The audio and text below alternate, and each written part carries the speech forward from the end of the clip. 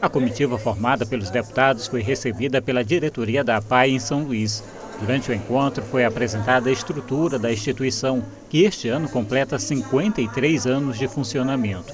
Os parlamentares acompanharam um balanço das ações desenvolvidas em três eixos principais de atuação: saúde, educação e responsabilidade social. Ao todo, são mais de 20 mil atendimentos por mês, cerca de 300 mil por ano. 401 alunos estão matriculados no Centro de Atendimento Educacional Especializado. A presidente da Assembleia Legislativa do Maranhão, deputada Iracema Vale, foi representada pelo deputado Antônio Pereira, que destacou a importância do trabalho desenvolvido pela APAI no Estado. Momento importante, até emocionado ficamos todos nós deputados, né? Sendo recebidos aqui pelos apaianos, pelos alunos da PAI, e que nos fizeram aqui uma, uma um momento de muito bem-vindos para todos nós e que nós agradecemos por isso. Encantada com o nível da PAI aqui de São Luís e de saber que eles realizam, é, dentre outros serviços educacionais, culturais, de apoio à pessoa com deficiência intelectual e múltiplas, também um serviço de saúde para o SUS e o que eles estão almejando é que a gente dê um apoio, principalmente no teste do pezinho. A está de parabéns e como deputada estadual estou sim me prontificando juntamente com os outros deputados e esse trabalho que eles vêm fazendo da inclusão, tanto do, das pessoas com deficiência como a família, muito importante. A PAI já desenvolve um trabalho em todos os 17 municípios, mas precisamos também do apoio do Poder Executivo, tanto municipal como estadual, nas nossas emendas parlamentares, então a oportunidade de estreitar, de se aproximar da PAI e do trabalho desenvolvido, que é de suma importância para a sociedade maranhense. Os parlamentares se comprometeram a destinar recursos às atividades desenvolvidas, como o teste do pezinho, que atende a todos os municípios maranhenses. Ajudando a PAI, a gente vai estar ajudando também a própria sociedade. A PAI é quem realiza hoje os testes do pezinho no Estado. Tem muita dificuldade de manter.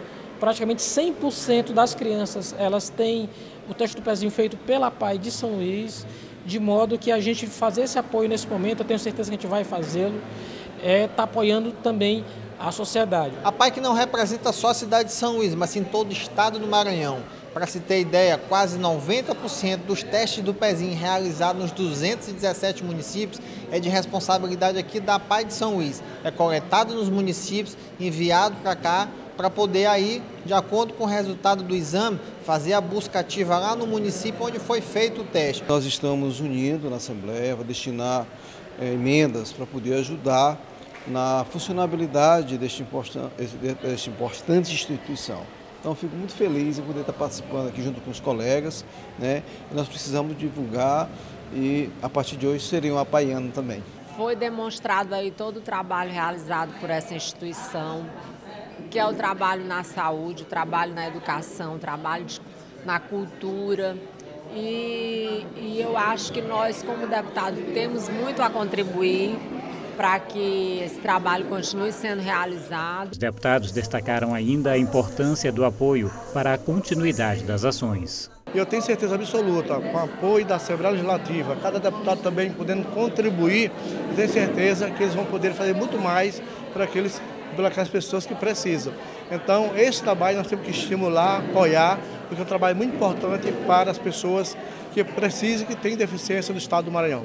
E atender também a uma solicitação da APAI para que a gente possa ajudar na aquisição dos reagentes para a realização do teste do pezinho. Eu aqui já coloquei é, o nosso compromisso, a gente vai ajudar, vamos destinar emenda, eu tenho certeza que todos os deputados e por fim a Assembleia Legislativa vai dar a sua contribuição para a PAI que realiza um grande serviço em favor de toda a sociedade maranhense. É impressionante a estrutura, é impressionante a capacidade profissional e mais impressionante ainda é o resultado, que nós podemos ver aqui uma belíssima apresentação onde as crianças puderam e adultos e adolescentes puderam apresentar que é possível sim, é possível se desenvolver, independente da sua situação, independente da sua especialidade e da sua necessidade. Também estiveram presentes à reunião os deputados Zé Inácio e Fabiana Vilar. A visita da comitiva aconteceu após uma solicitação da diretoria da APAI em reunião com parlamentares e a presidente da Alema. É importante né, que quem é representante do povo, né, que é a Casa do Povo, que no caso é a Assembleia, tenha mais percepção sobre isso e possa perceber em que pode contribuir. E graças a Deus a gente está aqui muito feliz, primeiro com a presença de todos vocês aqui e, lógico, com essa, essa parceria que nós sabemos que é de extrema importância para que os projetos da APAI possam seguir adiante.